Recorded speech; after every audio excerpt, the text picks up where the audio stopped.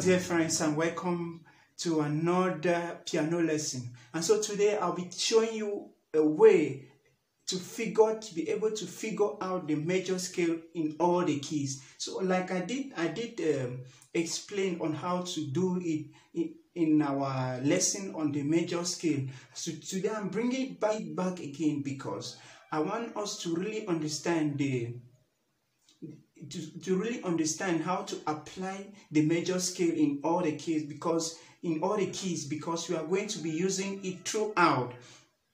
Yeah especially in forming chord so guys i want us to pay uh, take this uh, lesson very seriously. So like for example if we take for example key c this is our key c and i did say that the major scale is made up of seven eight notes or it's a seven note scale because the eighth note is actually the same as the, the first note yeah that's reason why we call we call it as uh, we say that it has seven degrees. So and i did say that the formula for the the, the, the major scale is uh, a tone.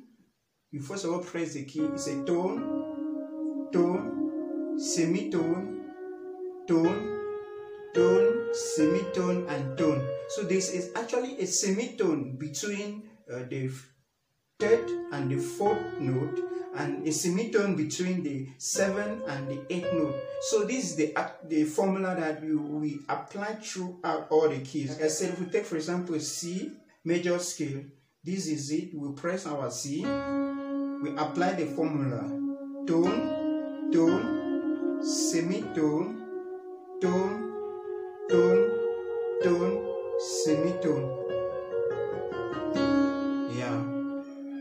So that's it. So if we move over to, and we are using our thumb as a pivot, like we did our, if you didn't understand, if you didn't check out the lesson on the, the fingering exercise, go back and check it.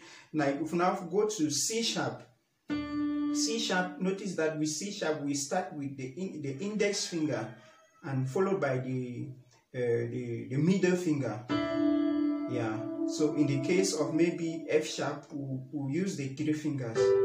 In the case of C sharp, I said you press the key first.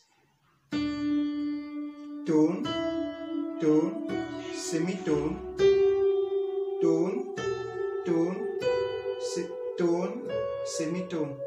Then we come back. Yeah. Same if we go to D, this is our D. Press our key.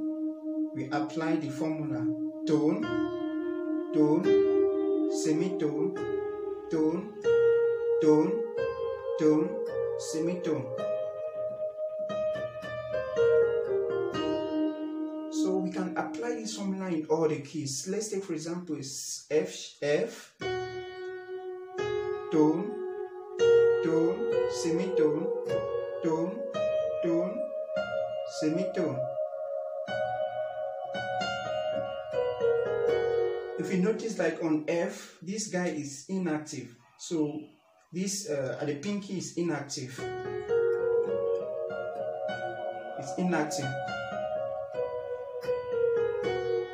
So we can apply this on all the keys. Let's say F sharp.